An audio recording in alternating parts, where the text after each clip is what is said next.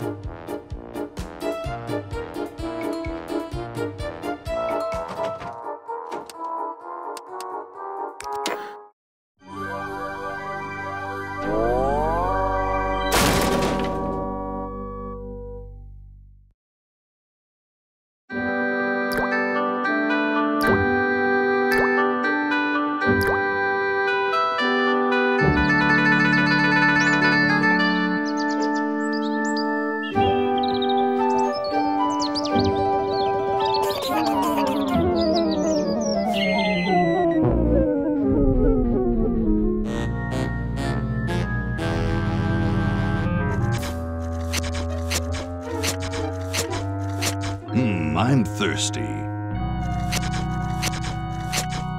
think you should drink that.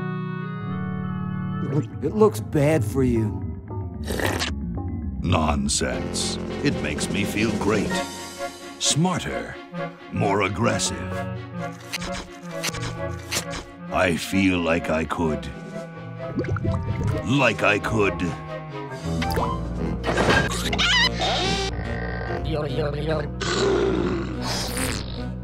Like I could.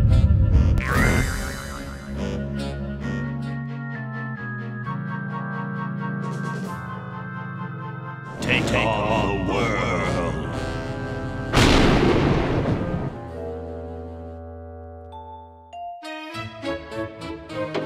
Look, Hoagie, it's a hamster. Just what I need for dissection lab tomorrow. I think I need that for the band, Laverne. You know, like we could bite its head off or whatever. Hands off that hamster. Friend of yours, Bernard? He belongs to Weird Ed Edison, and it looks like he's brought us a note. It's from my old friend, Green Tentacle. He says that Purple Tentacle's mutated into an insane genius, and Dr. Fred's going to kill them both.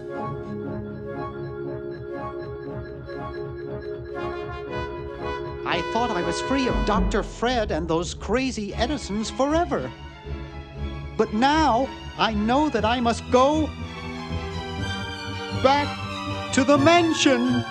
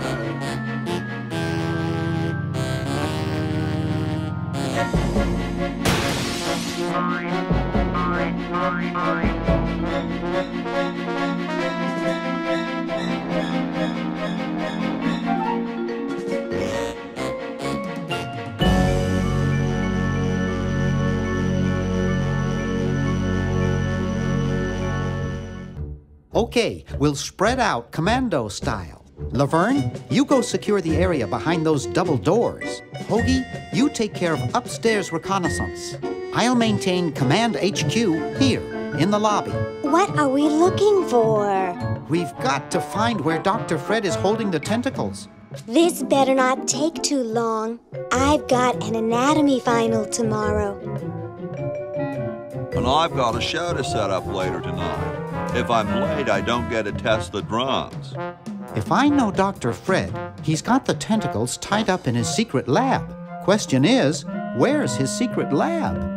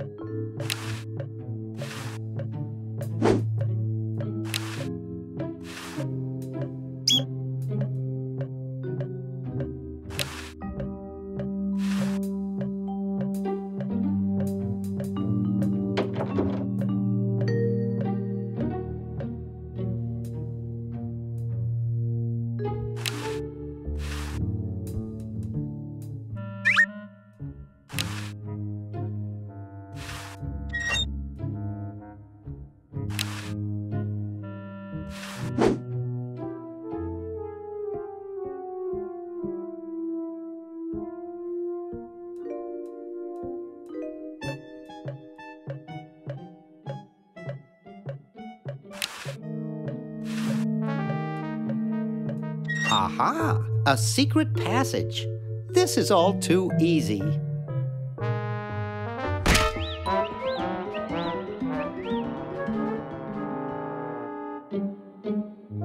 Laverne, how'd you get upstairs?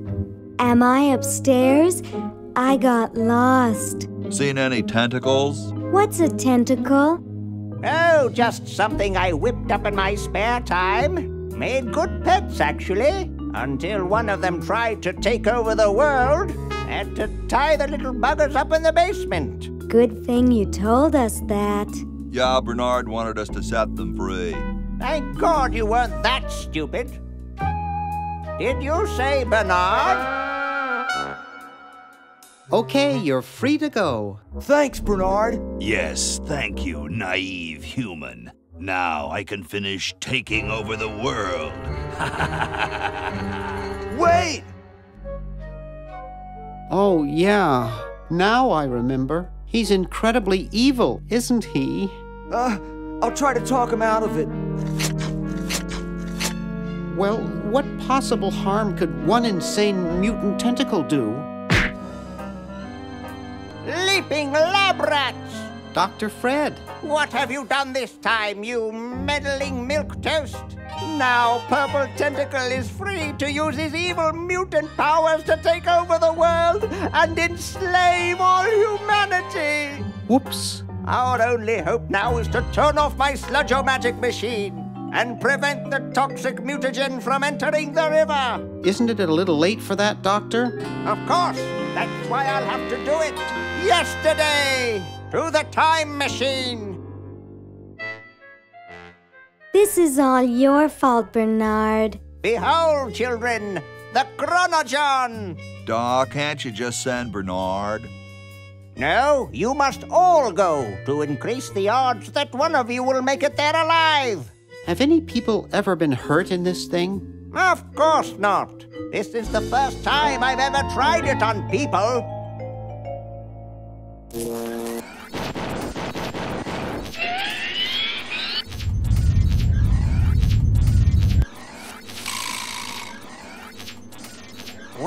I'll be.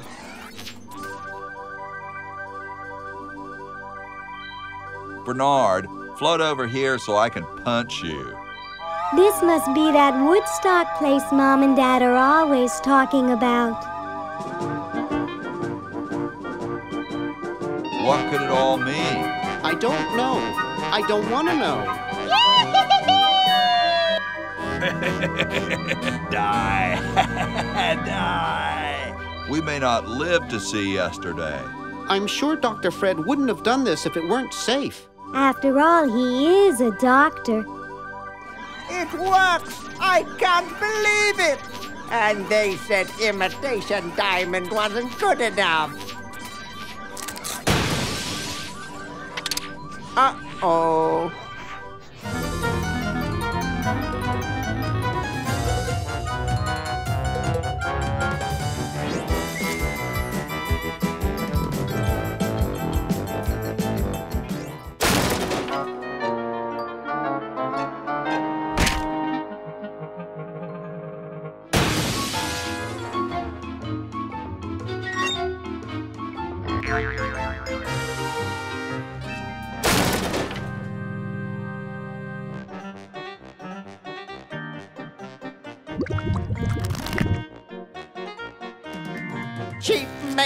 Order jewels.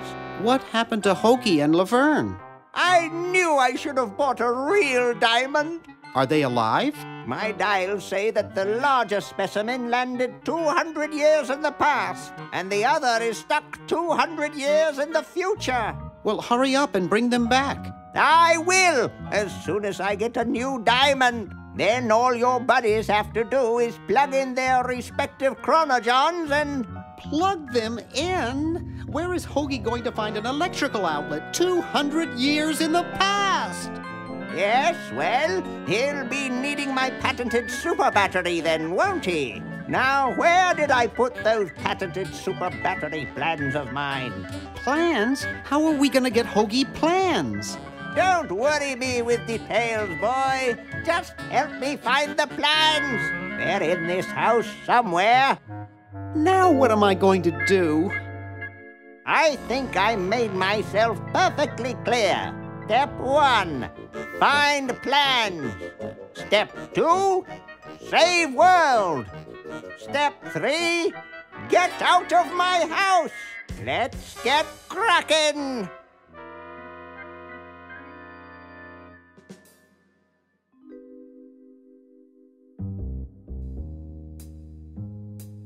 Maybe I put them upstairs. That's got to be it. Upstairs.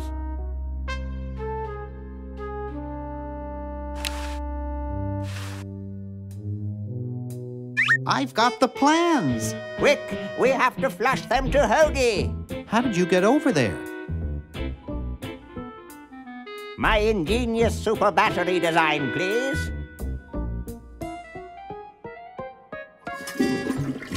You really flushed them. Yes. Down the toilet. No, through time. Using the highly sophisticated time flux hydraulic vortex chamber I've installed in each Chron-O-John, you can flush small inanimate objects to each other through time. Flush small inanimate objects to each other through time. Hello? Dr. Fred, can you hear me? Drat. Did you hear something? No, let's see if what's his name catches on. Oh, great. I'm stuck in colonial times, tentacles are taking over the world, and now the toilet's backing up. Okay, come over here.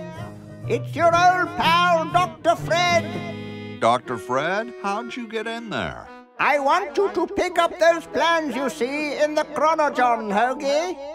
Bring them to Red Edison. He's my great, great, great, great, great, great, great, great, great, great grandfather.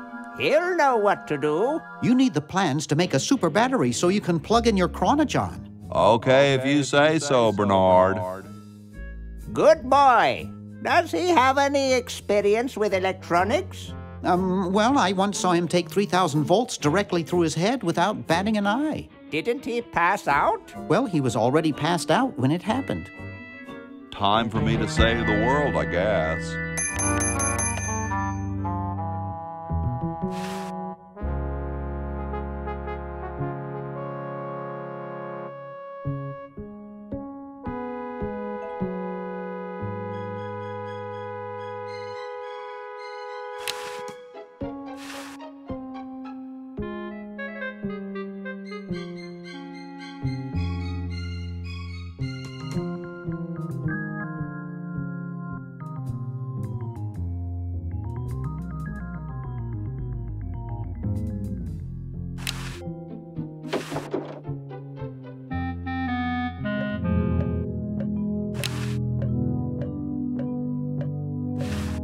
What's up? Don't feel like talking, huh? Vow of silence or something, probably, right? Well, that's cool. I have something for Red Edison.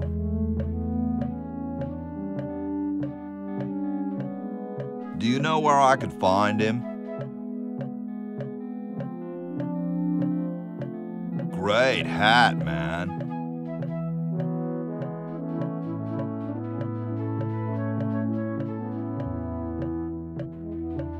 I know some dudes in a band who'd eat roaches for hats like that.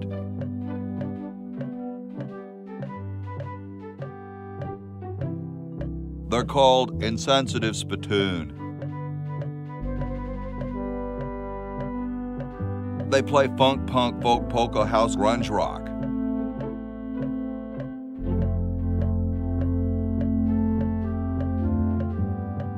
Heavily influenced by bands like Limpid Harmonica and Howling Moon Rock at Limbo. Well, nice talking to you, dude.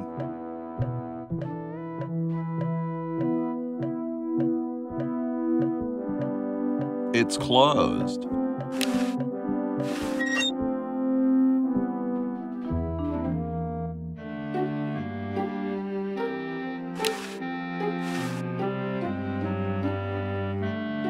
Say, that's a left-handed hammer, you know. I invented it myself. It was for my ungrateful slob of a left-handed son. Oh, well. Hey, What is it? you look kind of familiar. Of course I do. I'm Red Edison, the inventor, not to mention owner of this inn. Perhaps you've seen my picture in some important scientific journal. Then again, maybe not. Do you know Ben Franklin? Franklin? I would never associate with that overstuffed goofball. He has the stupidest idea about glasses with one red lens and one blue one. What are you doing? I'm inventing you, simpleton. What's it look like I'm doing?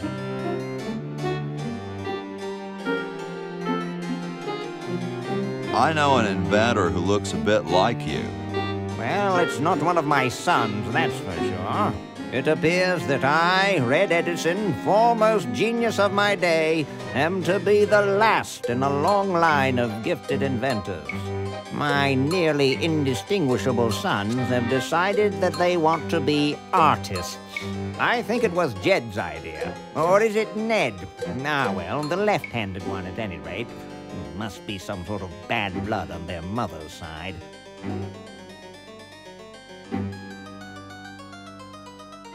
Well, see you later. You might if you cut that hair a bit shorter.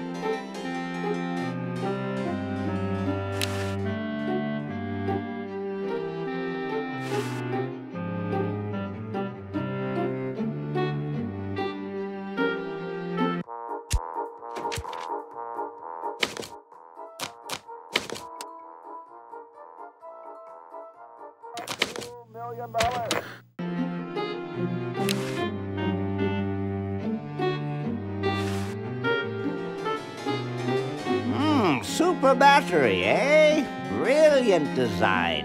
Sometimes I amaze myself. Now all I need is oil, vinegar, and some gold.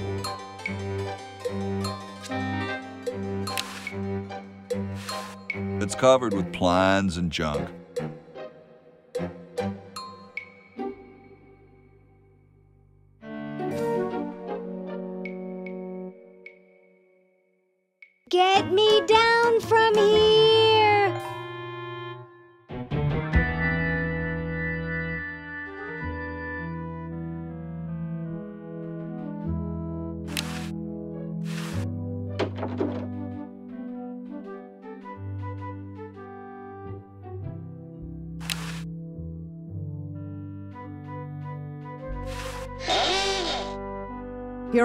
I am, don't get your curls in an uproar. Excuse me, Mr. Washington.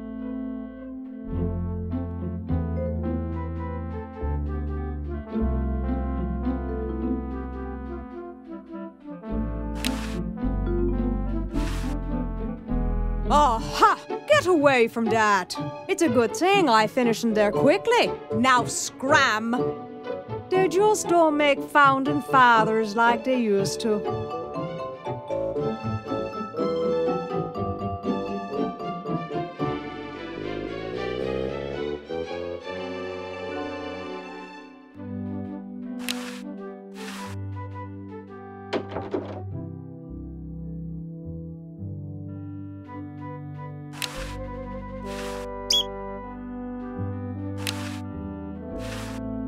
Don't understand that technical stuff.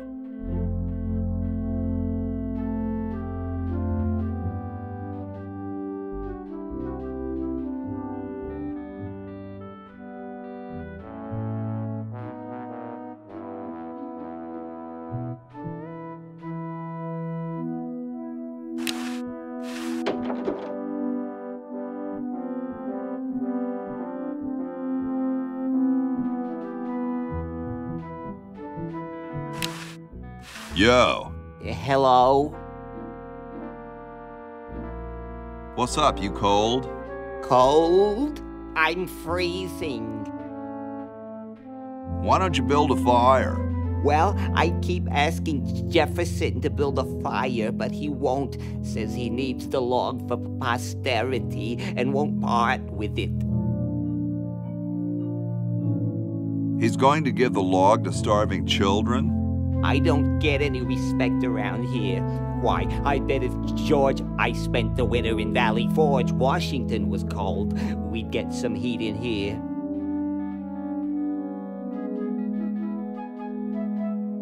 What are you guys doing in here? We're writing a. a, a, a writing the. We're drafting a constitution for the United States. Don't say draft, you'll only make me colder. Wimp. Why don't you build a fire? Well, I keep asking Jefferson to build a fire, but he won't. Says he needs the log for posterity and won't part with it.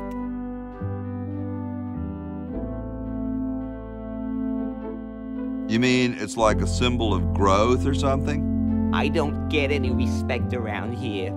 Why, I bet if George I spent the winter in Valley Forge, Washington was cold, we'd get some heat in here. Shouldn't you guys be working instead of just sitting there? Writer's block.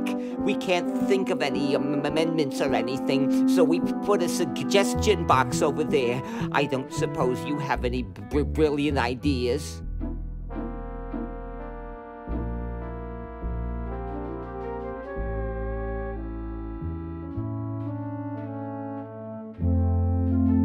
Guarantee the right to free speech. Hmm, free speech? No, that'll never work. How come you sign your name so big? Astigmatism. You mean you have like a childhood complex? All right. The, the truth is that a friend once told me that women go crazy over guys with a big signature. Awesome blanket there, dude. Thank you. It was given to me by my dear old colorblind Aunt Hattie. Well, I gotta go, dude.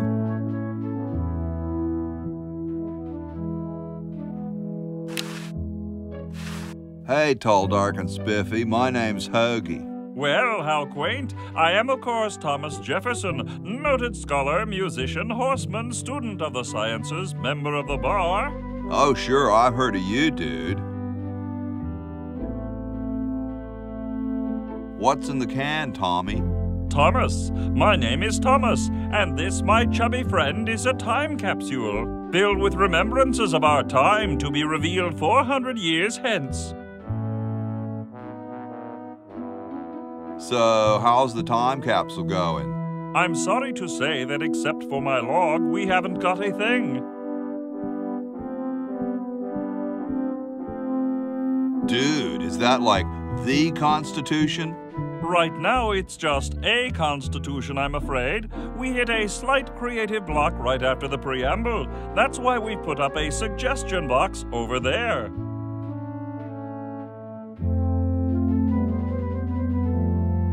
Has anyone ever told you you're a very snappy dresser? Why, yes, I studied at Virginia Coat and Technical, where I majored in color theory. I was captain of the varsity cravat team. Those are impressive credentials, Tom. Thomas. Could you start a fire, please? I'd love to oblige you, young man, but I can't. This is the only log, and I'm saving it for posterity. How can you let Hancock suffer like that? A real man is warmed by the fires of his spirit. You should listen to Washington relate his experiences at Valley Forge and take heed. Dude, I loved your work on the Declaration of Independence. Ah, thank you. What was your favorite part?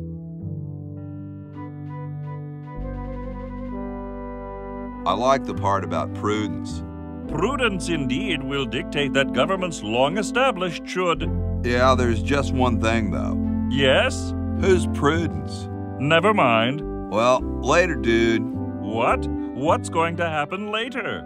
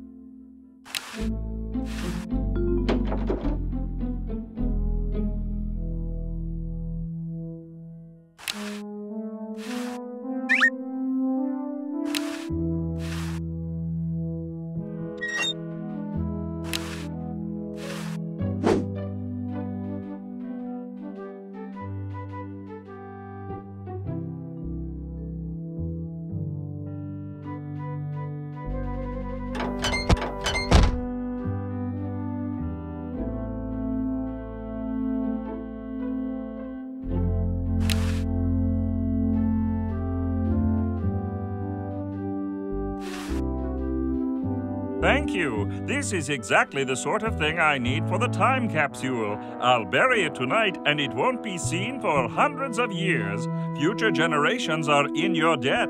Whoa.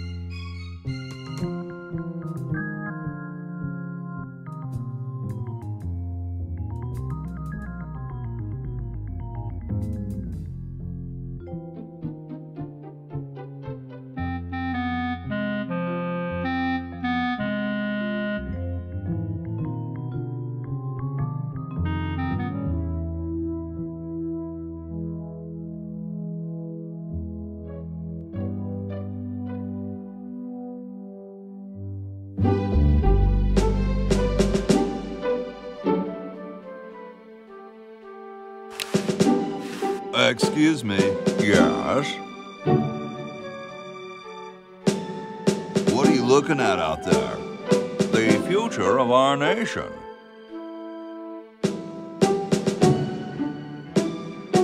That young couple by the tree? No, no. I was just admiring my reflection in the window. Striking, aren't I? Whoa, you're like George Washington. Very much like him, according to my wife, Mrs. Washington. Awesome. Indeed.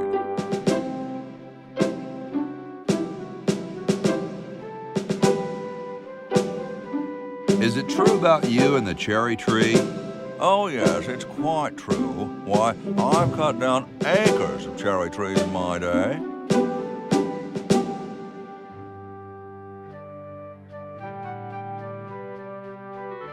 Bet you've lost it.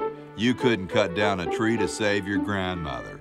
Lost it, have I? Why, I'd show you a thing or two if there were a cherry tree nearby.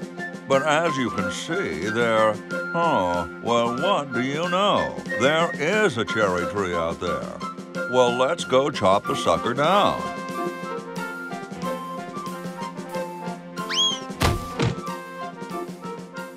I said come down from there at once!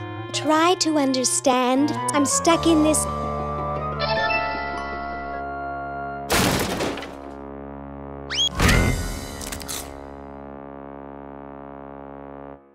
Voila! You're quite a man. Yes, I know.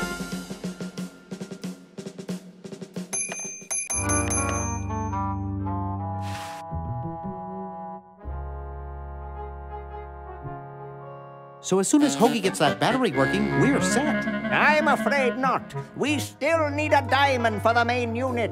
And your friend in the future needs power too, if she's still alive. Alive? Get me out of here! I haven't done anything. Well, you must have done something or you wouldn't be here now, would you? You'd be out in the lobby with your tentacle owner getting dressed up for the human show. Owner, no one owns me. Gosh, no owner, you say? Well, don't worry about it. I'm sure someone will come adopt you before we have to put you to sleep. Damn that Dr. Fred. Hey, she knows the Edison family motto.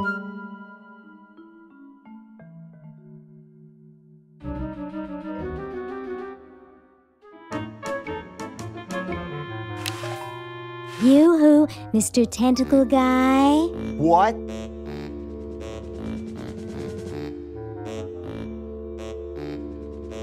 Ooh, I don't feel so good.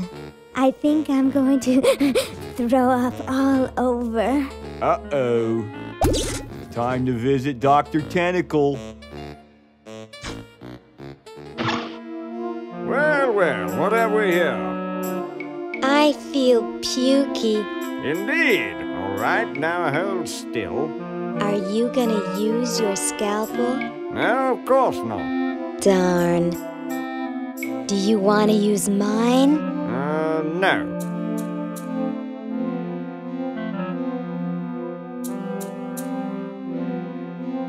Hmm. What?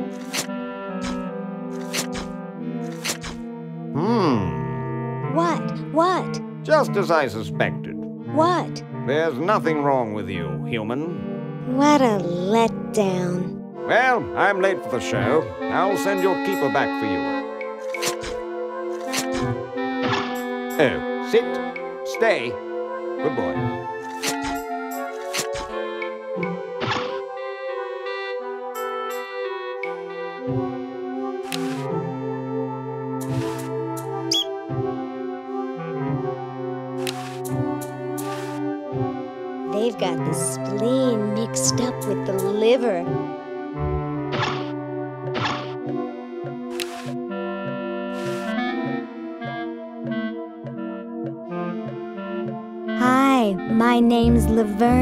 A sophomore. My name's Harold. I'm a thoroughbred. That's quite a tutu you've got there. Thank you. My owner paid quite a lot of money for it. My owner buys me anything I want. Where is your owner? He's not here right now, but he would be if he in any way possibly could. His bus broke down in Pittsburgh, so he's stuck there with the other owners.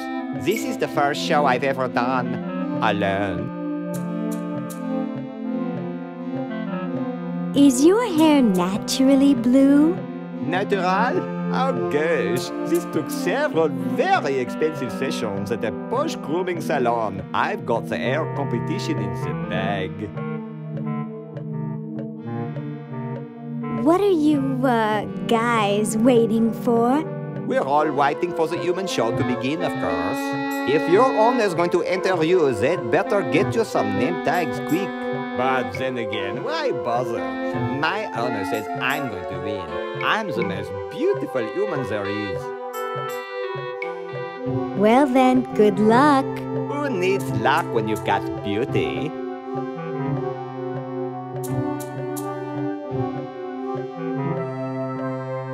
Lit! Humans aren't allowed to roam free here. I'm taking you back to the kennel. I wish I had some sort of tentacle disguise.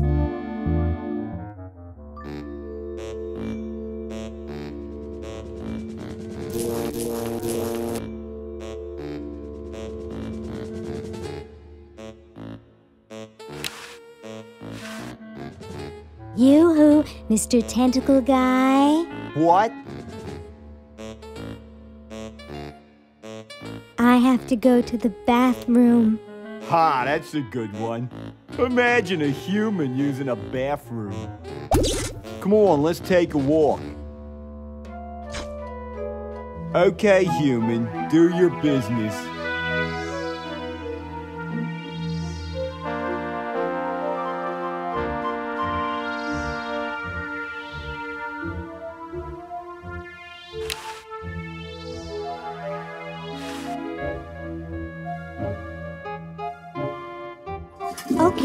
Okay, I flushed it.